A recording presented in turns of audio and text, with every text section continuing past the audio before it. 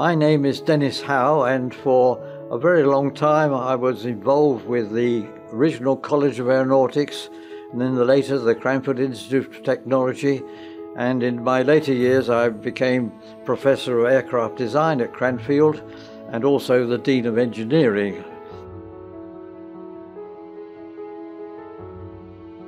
Before I became a student at Cranfield, uh, I first came became uh, associated formally with aeronautics when I joined the Air Training Corps uh, as a student at school. From around about the beginning of World War II, I'd been got interested in aeroplanes. I'd always had engineering interests. Started off with railways and locomotives, then went to ships, and then aircraft. And I was quite a keen aero modeler. I had learned a bit about basic aerodynamics doing that, and I just had an ambition to be an aircraft designer. After I left school, I became an uh, engineering apprentice at Fairey Aviation, which at that time was producing Firefly uh, naval fighters, about one a day.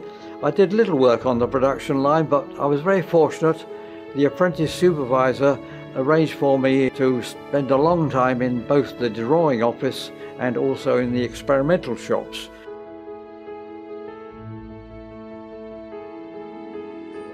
I'd heard about Cranfield uh, when I first joined uh, my apprenticeship. I'd read about it and its proposals and then its opening in the flight and aeroplane magazines.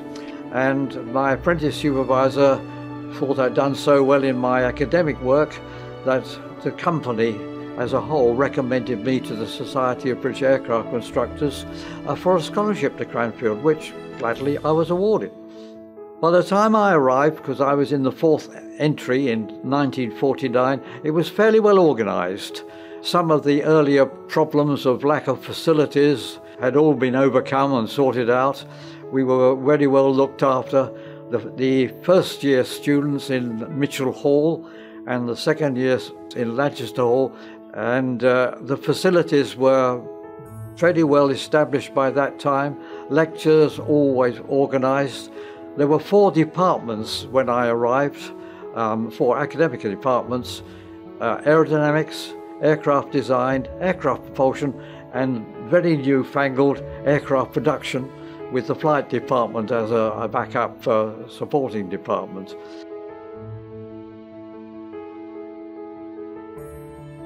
Uh, the facilities were very good on the practical side. Um, aerodynamics at that time had a wide range of wind tunnels. The structures lab was very well equipped with large quantities of smaller testing machines for material testing and three large testing frames for larger parts of structure. Aircraft propulsion uh, had a wide range of engines and, and the test facilities, of course, which were built up in those days. The thing that really happened later was digital computing because it changed the emphasis from practical testing to more computer modeling.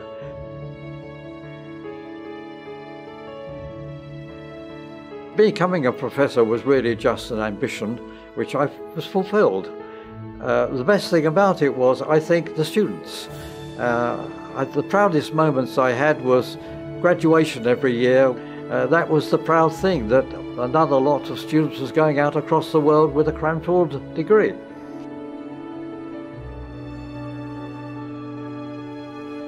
One of the things that I got very involved with was the design of this aerobatic aeroplane here, which was done originally to a specification by the then British aerobatic champion Neil Williams.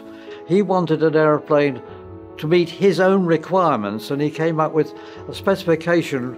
And some of his supporters came to Cranfield to see if we would actually do a study on it to see if uh, we could produce a viable sort of solution to his specification. And we used it as a student thesis. A couple of uh, the MSc year students uh, did design studies and structural studies on it. They all looked so good at the end, it was decided to try and build it. That was a little bit more difficult.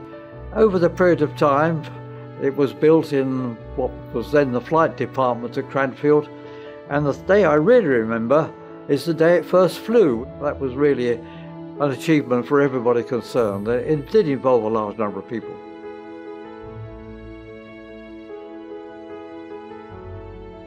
I believe that the spirit of Cranfield is essentially the mix of theoretical teaching, well taught, and applying it practically to the real life of aeronautics and in other departments to their particular applications too. But in 75 years, I visualize Cranfield leading the way. Um, it is unique in many ways, uh, and I believe that the world as a whole will get more and more concentrated in individual places, and that Cranfield should be leading the way in aeronautics, as it is doing in some ways now, with its design studies and its practical flying, uh, so that it does provide a worldwide facility. Uh, and I think Cranfield, I trust, will be there right at the forefront 75 years from now.